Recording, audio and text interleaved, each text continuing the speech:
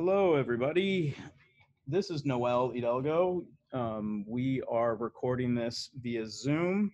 Uh, we will hopefully make this public if all things go well. Uh, I'm from Beta NYC and I'm joined with a few other individuals as we will walk you through the NYC Open Data Week 2020 informational webinar. Um, so I'm going to hand this over to Zachary from MODA to kick off the webinar. Thanks, Noel. Uh, my name is Zachary Feder. I work for the Mayor's Office of Data Analytics on the NYC Open Data Program. Um, and as Noel mentioned, we're going to talk a little bit about who we are and what Open Data Week is, but also give some details about this year's events in particular. Uh, so who we are, uh, Open Data Week is mainly two groups. There's actually a third group as well, uh, Beta NYC, Noel, as you, you just met, and the New York City Open Data Program, which is a combination of the Mayor's Office of Data Analytics, the Department of Information Technology and Telecommunications, and data from around New York City. Uh, but I'll let Beta NYC introduce themselves and we'll talk a little bit about the Open Data Program and more what that means. Thanks, Zachary. Uh, once again, my name is Noel Hidalgo. I'm the executive director of Beta NYC, and we were, or we started off as a meetup uh, in 2008, and we have now become a full-fledged nonprofit organization. Uh, we're one of the few nonprofit organizations that really loves open data and wants to see the success of the city's open data program. Uh, we see the piece of legislation as a transformative piece of legislation uh, in improving essentially our mission statement. And we are a nonprofit dedicated to using technology, data, and design to improve everybody's lives. Um, our four core values uh, revolve around the freedom to connect, the freedom to learn, the freedom to innovate, and the freedom to collaborate. These four values were championed in a, a community written document that was published in 2013, shortly after the passage of the city's open data law. Uh, that document is called the People's Roadmap to a Digital New York City, um, where we outlined a number of different policy proposals and a number of ideas that we wanted to see successive administrations take on. A number of those ideas focused on improving the city's open data law, and we're really honored to have been a partner over the last six years to ensure that the open data law grows and becomes even better than what it was when it was first passed. And so what we work on uh, in the day-to-day is that we build prototypes that demonstrate and demystify open data. We then create educational programs that help further demystify open data and also teach you how to use those prototypes. We engage in research and advocacy uh, around the city's open government community to ensure that New York City is best in class uh, and that we're making sure that we have a city government that works for us, by us, and for the digital era that we're in. I'm now going to pass this back over to Zachary so he can further do the introduction. So if you're on this webinar, you probably already know what New York City Open Data is. Uh, so we'll give a brief introduction for those of you who don't. Uh, so New York City is a city of about 8.5 million people. It's the largest city in the country and actually has the 19th largest workforce in the country of 300,000 municipal employees. And with that, they collect a whole lot of data to do their jobs. Uh, so every time their garbage is picked up or streets are cleaned or snow is removed, anytime a tree is planted or maintained, um, but also the public collects data anytime you call 311, anytime you use the 311 app, there's data records being created. And this data exists about really every facet of city life. So this is a photo that we put together a few years ago uh, with visualizing some data points that you might see uh, and, and interact with if you're in Union Square where this photo was taken. So you can see there's a public recycling bin in the forefront, foreground of the photo. And that's a data set. And there is street furniture slightly behind that, and that is also a data set. And there are parking tickets, and there are other things that I can't quite see. There's um, the taxi medallions, but basically for every piece of New York City life, there are data sets that pertain to that for every agency that exists and in one facet of the city's operation or another, th those agencies have corresponding data sets. So as Noel mentioned, Open Data was started in 2009 so we are just recently celebrating our 10th birthday as a program. But in 2012, um, in March of 2012, the open data law was passed. And this is something that was uh, from uh, community advocates, from people who use open data within government, from elected officials uh, getting together. And, and this uh, event of Open Data Week is kind of an outgrowth of that and a celebration of that anniversary. And we see open data as being a resource for all New Yorkers. So it's one thing to publish data, and you can see on the Open Data Portal the top data sets, data sets by agency, you can find data sets. But really, the idea behind open data is it's not just about city agencies and city government, but it's for every New Yorker. Uh, it, it's not created necessarily for the public consumption, it's created for internal operations. But once it is created, it's out there for everyone, and we want more and more people to use it. And this is something that we stated explicitly as part of our open data plan, our open data for all plan.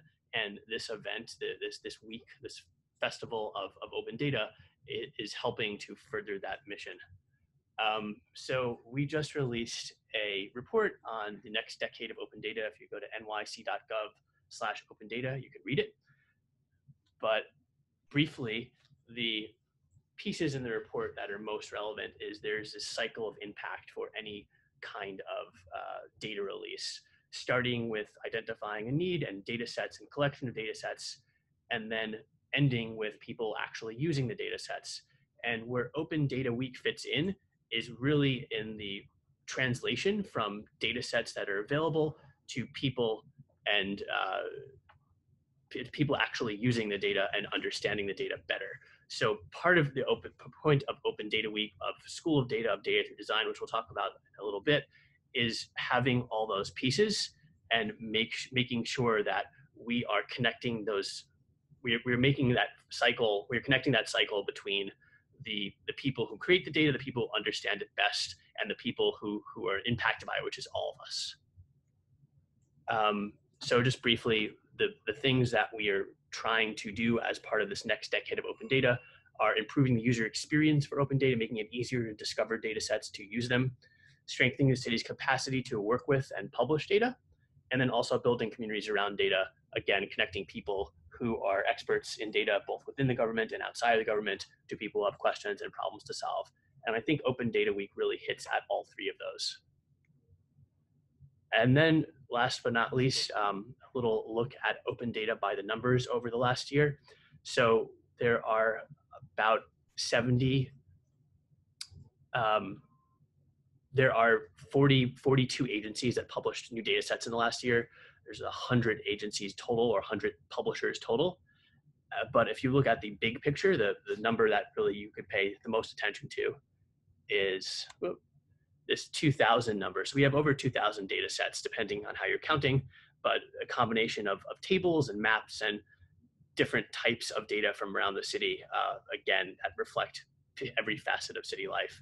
And part of the goal of Open Data Week is demystifying this, this um, 2000 data sets and communicating it in a way that people can understand and is directly related to their, their experience living in New York City. And you can see this in more detail and other information about New York City Open Data, again, in our report, uh, nyc.gov slash open data. And with that, I'll turn it over to Malgosia to talk a little more about what Open Data Week is. Hi, everyone. Uh, my name is Malgosia. I'm a project manager at the Mayor's Office of Data Analytics.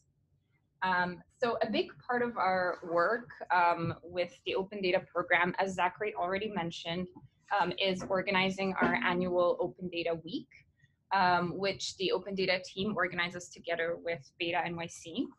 Um, and the idea behind Open Data Week is to truly celebrate um, open data, um, promote open data, and inform um, New Yorkers, well, first of all, that, um, that it exists, that they have this amazing resource at their disposal, and also to make them aware of the multitude of ways that New York City open data can be leveraged um, and ultimately um, encourage um, all New Yorkers um, to, to use open data.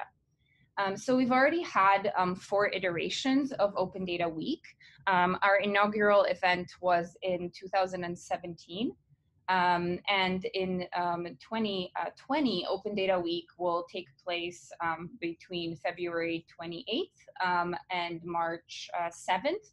So it'll span two weekends and all the weekdays in between. So as you can see, it is truly a week um, long event. Um, So the um, kickoff event for Open Data Week this year uh, will be the Data Through Design um, art exhibition. Um, the um, at the very end, um, concluding Open Data Week will be the NYC School of Data uh, conference, uh, which also happens to uh, coincide with International Open Data Day. Um, and also um, a um, anniversary of the passing of the New York City Open Data Law, which was on uh, March 7th, 2012. Um, so this is um, a visual uh, representation of um, Open Data Week. as you can see, New York City Open Data Week is sort of an umbrella um, term that spans the New York City School of Data Conference, um, as well as the Data Through Design art exhibit, um, and all of the different events in between um, that happen um, across the five boroughs. Um, and this is where um, you all come in. Um, so Open Data Week would not be possible without the enthusiasm and support of organizations and people like yourself. we really rely on on the all the organizers who pitch ideas and, and through their events help us promote New York City Open Data. Um, so you can get involved and submit ideas uh, for all the different um, types of um, events. Um, so for New York School of Data, the Data for Design, and all the various events in between. Um, and with that, I will pass it on back to Noel to um, talk a little bit more about International Open Data Day. Great. Uh, International Open Data Day is exactly what it sounds like. It is a global call to action uh, to host events, workshops, sessions, uh, anything that you can think of uh, that revolves around Open Data Day. Uh, it is one day where the planet celebrates open data. Um, we, Beta NYC, has been engaging in some way, shape, or form of International Open Data Day since it started uh, way back in 2008, 2009, something like that. So we're roughly celebrating 10 years of International Open Data Day. Uh, and we're really excited that Open Data Day, uh, Open Data Week, and School of Data and Data Through Design are all within the first week of March. Now, what we're celebrating specifically here in New York City on International Open Data Day is NYC School of Data. And NYC School of Data uh, has existed over the last few years as a celebration to embrace the city's open data law, to celebrate its transformative nature that helps us uh, do so many wonderful things. Not only does it give us an insight into how our government is performing, but it also helps demystify government operations. It also helps us see where we can improve our neighborhoods, our communities, and also ultimately use that for uh, either educational purposes, uh, we can use that for employment purposes, we can build new businesses off of that. Um, so uh, NYC School of Data is going to be this year on Saturday, March 7th, which coincides exactly with the anniversary of the city's open data law. And what we're also interested in is looking for uh, topics, sessions, workshops, projects, GitHub repositories. If you're an organization, an, uh, a city agency, and you want to do office hours, we're interested in finding willing partners and participants who want to come to this one particular day, uh, which where there will be at least 300 people in attendance. Last year, we sold over 400 tickets. Uh, we will provide childcare, we'll provide the logistical infrastructure in regards to classrooms, in regards to uh, uh projectors. We provide essentially all of the infrastructure for a conference and we help curate those particular sessions. Uh, we do the logistical planning around the food and childcare, as I said, that happens to be free. Uh, and then we provide an accessible uh, price point so that way you can engage with your neighbors, you can engage with your government, you can engage with your peers to really figure out and how to demystify the issues around open data, whether they be automated decision making, whether they be service design, whether it be open technology, whether it's just data itself. School of Data is an opportunity for you to join with your neighbors and your government to really understand what's going on within open data.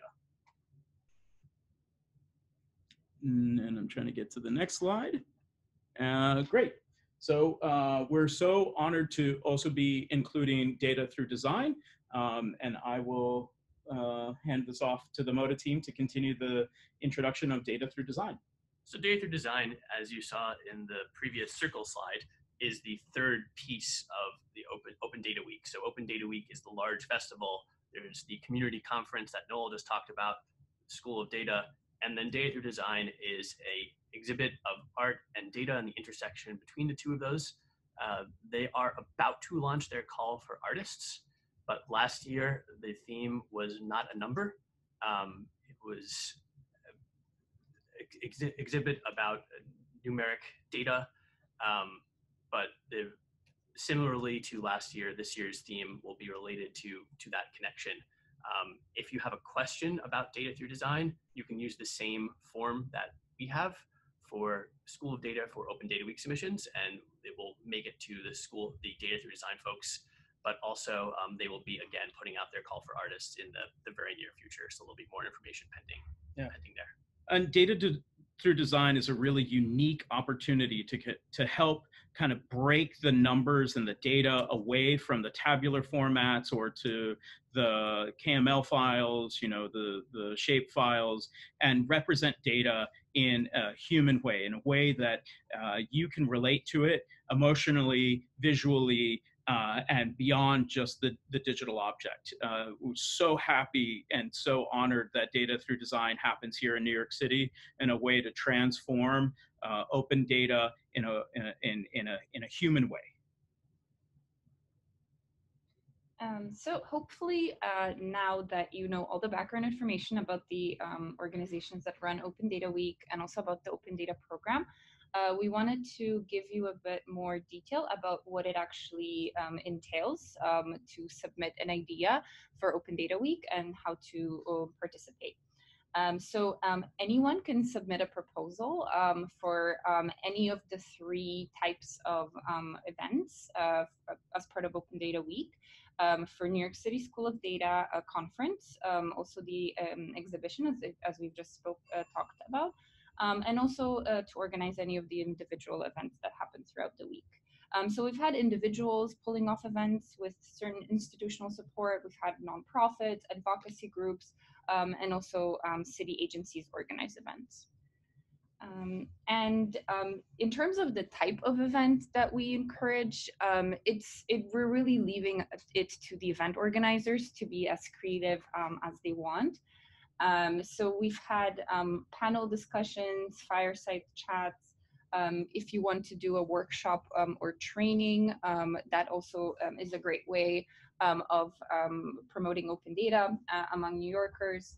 Um, we've had hackathons um, as well, and also um, showcases and demos. Um, so it's really it, it's really up to you to be to be creative, and we really mean that when we say that. Um, and we're happy to brainstorm with you. And if you're kind of stuck and, and, need ideas or need help determining what the best format for your event is, um, and uh, we're also um, happy to be kind of the matchmaker um, if you um, need um, a little bit more help with um, determining where to hold your your event. and to give you some some background, so Open Data Week 2019. Uh, we've had nearly 50 events, uh, which engaged 3,000 New Yorkers across the five boroughs, and, and we've had a multitude of events um, just to give you a few examples, um, we've had Queens College and CUNY students um, presenting interactive tools um, that they themselves created um, using uh, NYC Open Data. Uh, we've also had a um, LYLAS Labs hackathon on environmental justice to advance environmental protection for New York City. Uh, we, have also had a design workshop for city agencies to re-envision Map Pluto, uh, which is a tool used, used here in the city. Um, and we've even had a workshop on um, SQL um, for, for New Yorkers. So as you can see, um, the, the format is very varied, the participants also, the kind of the audience of all these events, um, as well as the, the organizers. So um, to get to kind of the, the meat of things in terms of submitting your proposal, um, we're looking for submissions by the December 13th deadline um, via an online form. Um, and you'll hear back from us by the end of December um, as to whether you were selected to organize an Open Data Week event. Um, and we also, um, to make your life easier, um, want to share with you certain criteria based on which we will be judging your submission. Um, so we're really looking to um, understand how you plan to engage New Yorkers, um, and this could include city staff. and how do you plan to raise awareness about open data through your event? Um, however, we're also really um, interested in knowing how inclusive your event will be given the um, open data for all um, nature and, of, of, Open Data Week.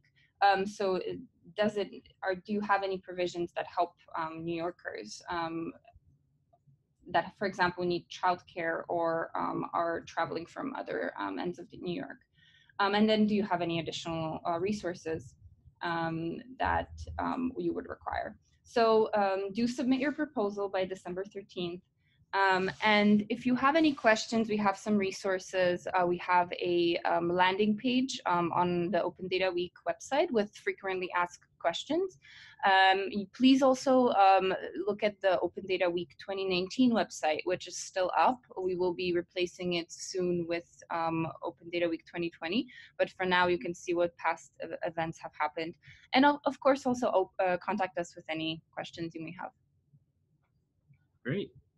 Um, I would like to add that if you're a uh, if you're considering hosting an event uh, and you're concerned about the logistical impl- implications or the concerns of where do I find a space or you know like what should I do, I would uh, suggest that you apply uh, that session, uh, uh, apply or propose that as a session to School of Data uh, the reason why is, you know, Beta NYC is essentially doing all of the that logistical work, uh, and we're looking at already inclusive venues that will provide the opportunity to have a diverse format of sessions. So not only are we looking for talks or proposed panels or workshops or demos, uh, we're also looking for office hours. So we're we're we're trying to be that catch-all for any other organization or entity that is looking to host an event inside of Open Data Week, but just doesn't know how to get there. Um, so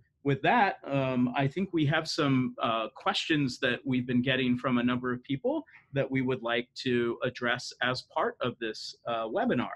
Um, with that, what is a, Zachary, what's a good example of uh, an inclusive event uh, besides kind of uh, facilities that's a, a, available for everybody? So the facilities piece, I think that's important um, to talk about a little bit more. So there's a few ways to think about that. One is, is, it accessible by public transportation? Two is if someone is differently abled, how would they be able to physically access the building? Is, is there an elevator or some other means of entrance? Um, so, so there, there is certainly the physical space. Um, is there someone uh, translating? Is, is there sign language available? Um, that, that's one piece. But another piece is really thinking about open data for all, what, what what's the topic being discussed? Is it something that is extremely technical? If so, what will people do um, that that don't have that level of understanding? So, uh, not every single event doesn't have to be one that hits on every single level of ability, but we want to make sure that as many events as possible are appealing to a larger audience. Um, the, the other piece that we want to, to make certain of is that the events are inclusive to wide groups of New Yorkers. Um, and Noel, do you want to talk a little about how you ensure that for, for your events generally? Yeah, um, so one thing that we look at is um, the framing of the conversation. Um, we have a number of code of conducts uh, that we embrace uh, that make sure that the conversations are yes and, um, that they're constructive, that they're solutions oriented, or at least uh, uh, framed in such a way where there's a positive uh, uh, opportunity to affect change. Um, and so we don't want just a, a, a negative, critical lens of a conversation, but we want to create a framework where there is a constructive dialogue or at least an insightful piece uh, that lets everybody come away from that conversation. And ways to make that even more inclusive is be mindful of the language that you're using, uh, be mindful of the terms that you're using. Uh, as Zachary uh, pointed out, if you can provide or uh, work with entities that can do sign language or childcare or you know making the room as flexible and as open as possible um, making sure that your events if you're in a big room that they're mic'd so that way people who have uh, hearing impairment issues are able to uh, uh, hear uh, all the way in the back. Um, you know think think about the as inclusive as possible. Um, if you're not a techie you know think about how you can use uh, um, uh, paper and pencil. Um, think about ways of doing post-it note sessions. Um, you don't. This does not need to be a, a, a super technical uh, type of event. Uh, it can be, um, you know, you can have people do a session where they uh, visualize or or embody what they think open data should be uh, and turn that into a creative output that then gets documented and then shared out so that way agencies and the city or other organizations can uh, see the, the feelings and the emotions and the, the impact that open data has. Um, yeah, is, So- is that? Well, one thing just to add to that generally, and this is sort of your, your question before about what do I do if I have an event idea, but I don't necessarily have a venue. I would say if you have questions about access and inclusivity, if you have questions about a venue, if you're not quite sure whether you're a data through design event or an open data week event, just submit through our application. Um, there's the link at the open data week landing page. There's also the bit.ly link within this, this presentation. We'll share that around after and we'll do our best to help you uh, to, to make sure that whatever you're proposing meets that criteria and then if need be help you find a space or a place to have have your event whether that's an open data week whether that's uh, in the school of data conference or data through design. So Malgosia what if i'm already hosting an event that happens to be during open data week? Can i list it as part of open data week? Uh, absolutely, uh, as long as it's related um, to um, New York City Open Data, um, and as long as it meets all those um, inclusivity requirements that we have just spoken about. But yes, definitely, a lot of organizations um, do do that, um, where they already have um, events scheduled in that given week, um, and they and they kind of include them, and we include those events as part of the as part of our our Open Data Week. So, so yes, definitely. and and where can I have events? Like, what, what, what part of the city is it? Is it only this one school data conference, or No, so School of Data is only one of the events as we as we spoke. Um, it's the concluding event um, of Open Data Week, but um, events um, happen all throughout New York City in all the different all the five boroughs. So we re- really encourage um, events um, to happen in um, some more remote parts of New York City as well, um, to make it accessible to people who who live in outer Queens, who live in outer uh, Bronx, um, and not just have events that sort of centered or center around Manhattan. And if, let's say I had a tool that I wanted to demo during Open Data Week, uh, but wanted to maximize its reach across all five boroughs, can I host a virtual event of sorts? Uh, yes, absolutely. Um, that works as well. Um, we uh, we would encourage you to have a um, physical event um, in addition to the virtual event, um, but we would also be open to having virtual events um, that people can can access through like webin these kinds of webinars or online links. Great. so? No, if I want to host an event, but I need a co-host, how would I go about finding that that person in that group? Uh, that's a great question. Uh, Beta NYC offers a number of online resources for you to connect with our 5,000 plus community. Uh, you can go to our website, beta.nyc forward slash community, and there you will find links to our Slack group. Uh, we have a, a close to 2,000 members in our online Slack. Uh, we have a fairly quiet uh, general channel, so you can hop on there and, and chat away and start asking questions of, I'm interested in hosting this type of event. Uh, does anybody have any resources? Does anybody have a, is anybody interested in being a co-host? We also have a, uh Facebook group if you're on Facebook um, that has uh, about a thousand people uh, where you can go ahead and, and ask the same question. You know, I'm really passionate about this particular subject matter, and I would love to know who uh, or where can I host this particular uh, session. Um, we're uh, it's a pretty open and, and inclusive community, uh, and we're always looking to help each other out. Um, and then we have a meetup page, um, which we have been using uh, really to promote our events. So if you're ever looking for an opportunity to help uh, promote your open data event, we're very interested in helping you promote your open data event. So not only are these online uh, resources places that you can go to, uh, but feel free to reach out to us as to be event partners to help echo uh, your concerns uh, or desires to promote an open data event. Uh, once again, if you have any question at all and you want to ask kind of the collective wisdom of the Open Data Week organizers, please send an email to team at open-data.nyc. That email address goes to the Data Through Design people. It goes to the Open Data team at uh, at the city government and it goes to Beta NYC. And we will give you a response roughly within 24 to 48 hours in regards to the concerns or questions that you might have.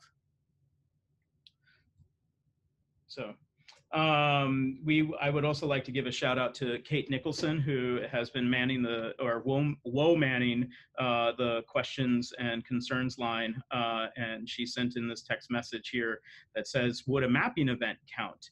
Uh, for instance, if I wanted to verify OpenStreetMap data and organize a walkabout, um, there are, are many types of open data events uh, that we are looking forward to hosting. Uh, just recently, uh, Beta NYC, Department of Transportation, um, uh, and the mayor's office with people with disabilities hosted, co-hosted a hackathon around editing OpenStreetMaps. There's a very, very active community here in New York City that's passionate about making data, uh, not just using open data. And so this OpenStreetMap community uh, is also passionate about making sure that data beyond the street is mapped. And so that looks at bike lanes and sidewalks um, if you go to our uh, blog, beta.nyc, and look for the Mapping for Mobilities hackathon, uh, you will find material that you can use to go out to your community and help map your bike lanes, your sidewalks, your crosswalks, the curb cuts, as well as other information on how you can help create open data in OpenStreetMaps. Um, Kate, thanks, and for whomever else asked that question, uh, we'll make sure that we can add some links so that way Open Data Week isn't just about reading data, but it's also about creating data. And as far as the format of an event, last year there was a scavenger hunt. We want to encourage people to have as many kind of out of the typical computer screen presentations, laptop events as, as they, they find interesting. And again, if you have a proposal for an event but not quite sure who to partner with, you could always look at to Beta NYC to help you find that, but also just submit something to the Open Data Week application, and we'll do our best to, to match you up with someone as well. Great. Um, do we have any other questions? What about a, a what's an example of like a, a good event? What are the things I want to, uh, besides inclusivity and accessibility, that I should be keeping in mind? This variety of venue and, and yeah, well, well, you know, uh, gender expression is is a very important thing also to keep in in mind. Um, I know that I've attended a, a, one too many technical panels where it just seems like a bunch of men are are speaking their minds, um, and so I would encourage the the community to be thinking forward about how do we make uh, as inclusive of events not only uh, the venue but also representation on either the panel um, or the people that are in the front of, of the event. Um, and, you know, New York City is such a wonderful place that this is the home to so many civil rights movements. There are quite a few uh, diverse individuals throughout our, our five boroughs that would be willing to speak on the intersectionality of, of open data and, and other issues. And please feel free to submit multiple ideas as well, and we'll consider all of them. So. Um, we'll follow up with um, some other links. I think in the FAQ, there's some links to uh, recommendations from uh, Mozilla Foundation's MozFest on how to have an inclusive uh, uh, event, ways to be thinking through how do you structure an event to be as inclusive as possible. Um, and I think we'll also make sure that the FAQ includes South by Southwest's guidance uh, they've been running a very popular festival for many, many years, and they have some really good recommendations out there on exactly how to um, uh, construct an event uh, that, or an event proposal that's inclusive as possible. So great. Any any final questions? No? No. Great. Well, uh, for those of you who are on the webinar, thanks again for taking these 40 minutes with us. Uh, we look forward to working with you and we look forward to seeing you uh, out at an Open Data Week event. Uh, if you have any questions at all, please, please, please email us. Uh, we are here to help. Thanks everyone and have a great Thanksgiving. Great. Happy holidays.